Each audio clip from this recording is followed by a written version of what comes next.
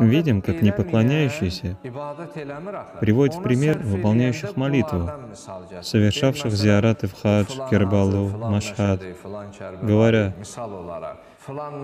если я буду совершать молитву и обманывать, как тот верующий, тогда уж лучше вовсе не совершать молитву.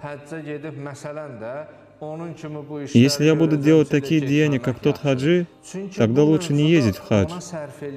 Он так говорит, так как в этом вопросе это выгодно ему.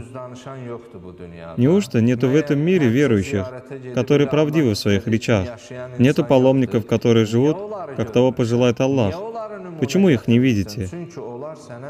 Почему их не приводите в пример? Потому что это не в пользу тебя.